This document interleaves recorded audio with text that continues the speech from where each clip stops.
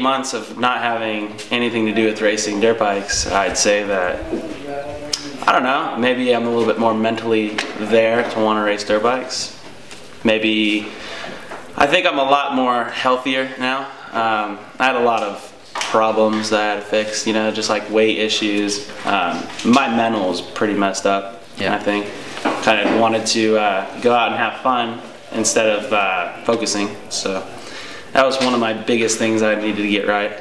I'm just kind of focusing on getting my bike right for uh, Monster Cup, and then after Monster Cup, it's it's gonna have to change. You know, I um, I really I like California in, in a certain time of the seasons. You know, right now it's gonna start getting cold, and um, I think that after after Monster Cup, I'm gonna try and go back east, maybe uh, possibly to Georgia, and go train with my team manager and just. Uh, kind of get on my own program. You know, I, uh, I I always enjoy being with my brother and riding with him and, and being a part of the program because you know you're always going to have you know a good bike. I have Varner here. I have my mechanic Daniel. Um, they're always going to make sure the bike's right.